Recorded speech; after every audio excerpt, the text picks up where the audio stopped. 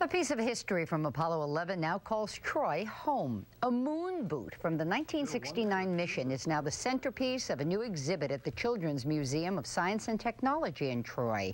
The silicone rubber boots, of, rubber soles of the boot were made at Momentive Performance in Waterford. Those soles protected the astronauts' feet as they stepped onto the surface of the moon. The exhibit will be on display at the museum through spring 2011. The museum is in the Rensselaer Tech Park.